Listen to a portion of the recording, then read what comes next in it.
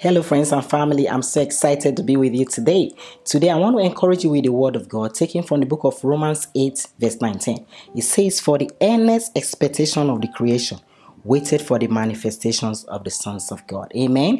This is a month of manifestation in House of Praise.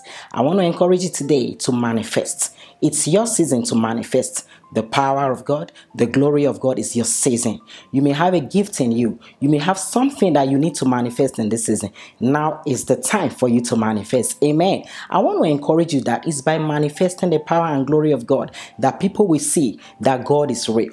If we look at the story of the three Hebrew boys in the book of Daniel, chapter 3, Shadrach, Meshach, and Abednego, they were forced to bow down to an image, but they stood for God and they refused to bow and they manifested the power and presence of God. What happened?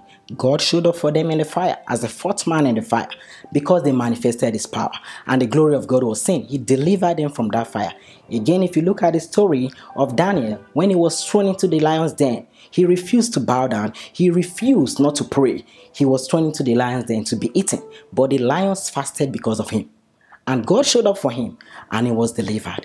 Same can happen for you. If you manifest the power and glory of God, God will show up for you. I want to pray for you today that this month of manifestation will not pass you by. You will manifest in Jesus' name. When you go out there to your office, manifest in the name of Jesus. In your career, manifest in the name of Jesus. In your marital life, manifest. Whatever you lay your hands upon to do, manifest and let God be seen in you. Have a wonderful week ahead of you and God bless you real good.